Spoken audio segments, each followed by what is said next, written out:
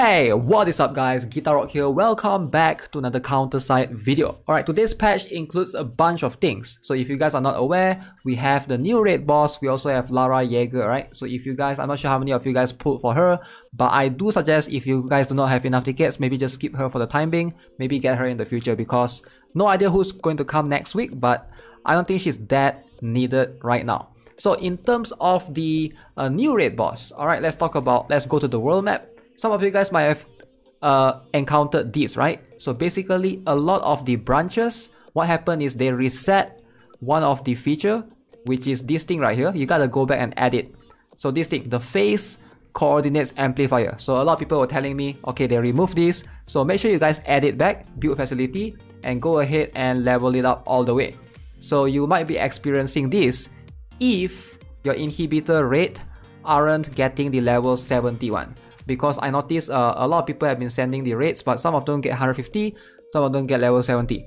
But should you actually upgrade it, it's going to be a different story, right? Because if you upgrade it, you're gonna get the inhibitor raid level 150, and if you can't kill it or nobody in your friends list could kill it, is there a point to upgrade it, right? So you gotta think carefully. Uh, I'm not sure what would be the best strategy moving forward because right now level 70 is doable for me but 150 is way far off. Like it's just too difficult. Like I don't know why but everyone just get destroyed in that rate. So I'm gonna show you guys a strat shortly after. So make sure you guys do all of these or, or maybe just think carefully first if you actually want to upgrade it. Because if you upgrade it you're gonna get a harder inhibitor raid. So I'm not sure if that's going to be beneficial for you you do have six branches, uh, five or six branches depending on you guys. So maybe you can upgrade three of it and the other three just remain at low level. That could be a strategy as well moving forward.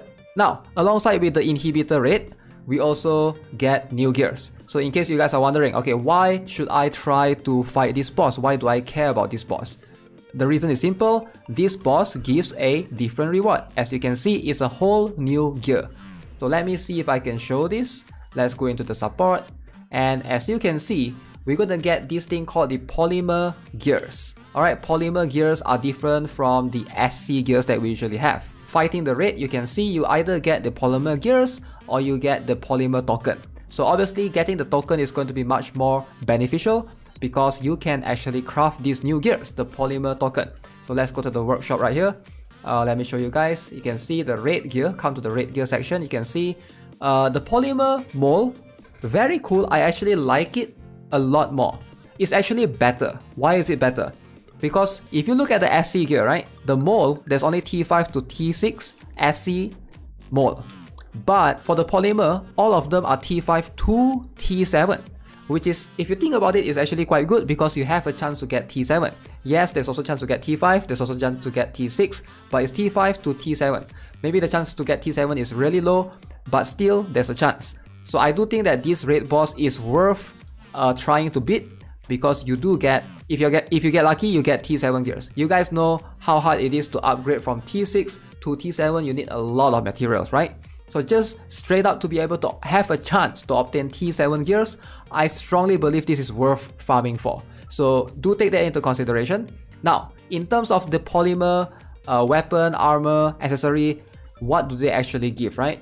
If you look carefully, right, of course it's still divided into the uh, counter, the soldier, and the uh, mech gears. But if you guys are curious, the polymer is much more of a defensive gear. So let's go to the upgrade here and you can have a look here. They basically added a bunch of things.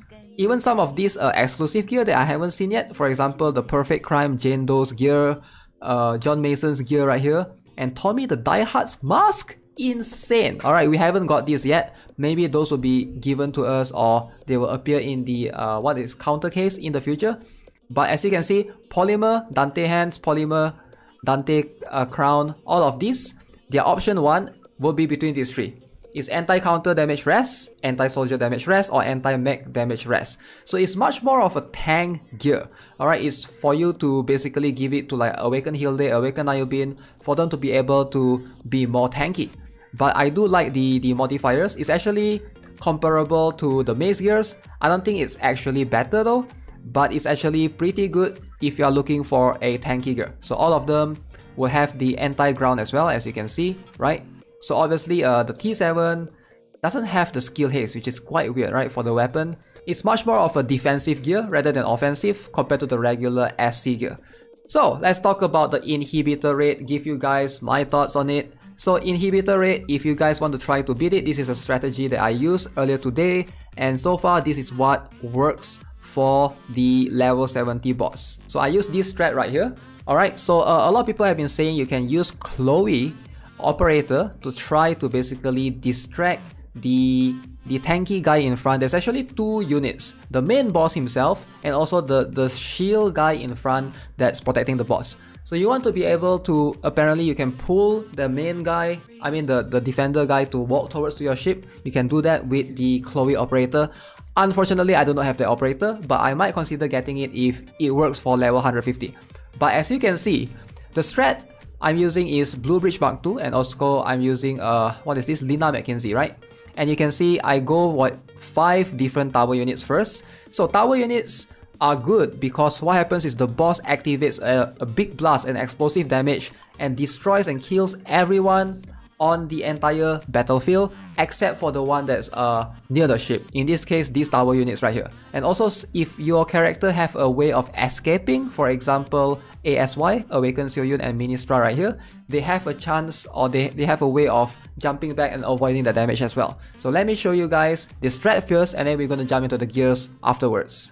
Yeah, let me try the same strat for level 70. So I'm just curious if this strat that uh, I just tried just now, like is it good enough, right? What operator am I even using? I don't have Chloe, so I'm just using this.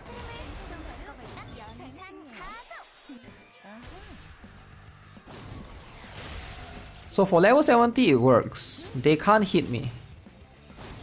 But I don't know what are the soldiers dying to. Is there a DOT going on something along those lines? Because they are gradually losing HP. Right? They are gradually losing HP. Alright. Crazy stuff going on. So if my admin swordsman, administrator swordsman survive, 2 minutes, right? Around here, the boss will launch the first attack. Boom! So let's see who survive. So ASY, Ministra and the tower units. So how come just now 150 boss, they can't survive, you know? But regardless, let's let's see if this strat works this time. I'm just curious, right? If it works against a full boss, I did 70%. So I'm just curious if it... I think we can. I think we can actually do this. I just need the heals to come out soon. Maybe my Evelyn need to push front a little bit. Okay, Lin Xian is out now. I save Lin Xian and Young Harem to help heal a little bit. Young Harem and Evelyn very important for the heal. I think I just saw Sigma die right there. Which is unfortunate. Evelyn hopefully heal everyone. Uh, maybe we can't do this, I'm not sure. 50 seconds, can we do this? Obviously, the strat can still be improved, but... Yo, Lucas Valenzuela. Oh my god, I'm lagging, lagging like crazy. Lolly throwing the sofa. 30 seconds, ALSY is out, everybody has shield so they should survive. 30 seconds, can I do it? If I do it, this is the best free to play strat, although you need a bunch of lollies, so I'm not sure if it's a free to play strat. It is cutting it close, it's like 10 seconds remaining. Okay. GG I guess. Alright, so as you can see, pretty straightforward. So let me show you guys the gear that I use for each of these character. So, Maria Antonov, I went with Skill Haste. so I'm just gonna breeze through this because there's a lot to there's a lot to show. Choi Ina, I went with Attack Speed. Alright, so Sigma with uh, Skill Haste again. So this guy tactical, I don't know what I go with. HP. Alright, uh, Twins with um should I don't have gears for her, okay. Fair enough. So Skill Haste. So this is uh, Admin Swordsman, ASY, Chifuyu, Dash, Ifrit, Admin Rifleman, Kim Sobin, apparently she does decent damage. Alright, so Lin Xian, Yang Harem, uh, Evelyn. Again, if this is too fast, feel free to pause the video. Alright, so we have Machine Collector, Hilde, uh, Xinjiao, of course, for the buff, uh, ALSY, so I went with Taras right there, Rosaria, Rita, and Yep, that's about it. So I was thinking of bringing Xiuyun, but I don't know, Xinjia or Xiuyun, whichever that's better. But yeah, there's quite a lot of characters. So again, level 70 is definitely doable. I'm going to try to work on a level 150 and see if there's a strat that I can I can craft out from it. But yeah, for now, this is what I have. Let me know what you guys think. Uh, if you guys think this gear is worth farming, or do you guys not care that much? As always, leave it in the comment section below. I'll see you guys in the next one. Subscribe, give this video a like. Have a nice day. Goodbye.